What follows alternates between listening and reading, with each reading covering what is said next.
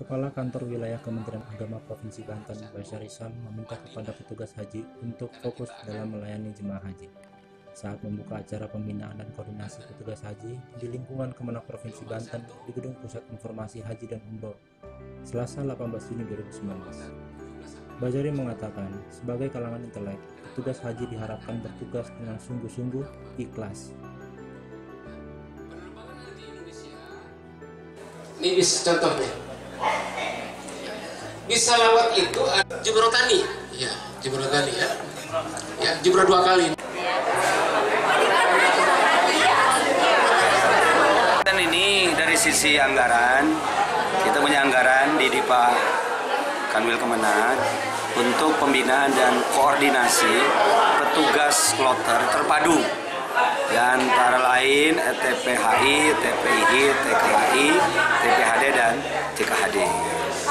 Alhamdulillah wasyukurillah semua petugas kota hadir pada acara pembinaan dan koordinasi ini.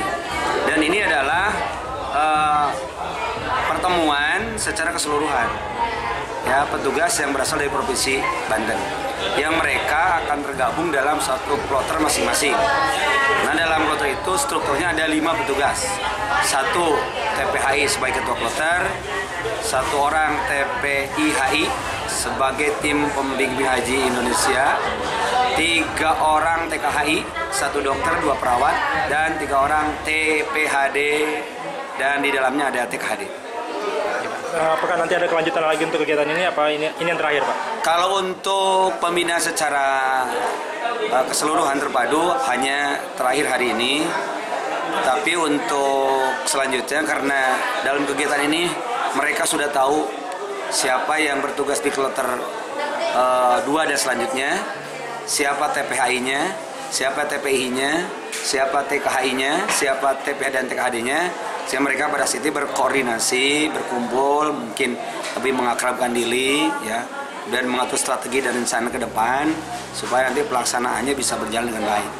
Mereka-mereka itu setelah ketemu begini nanti akan uh, juga hadir di acara BIMSIK, baik yang diadakan oleh KBIH maupun oleh KUA kecamatan maupun oleh Kankemenag Kabupaten Kota gitu Pak.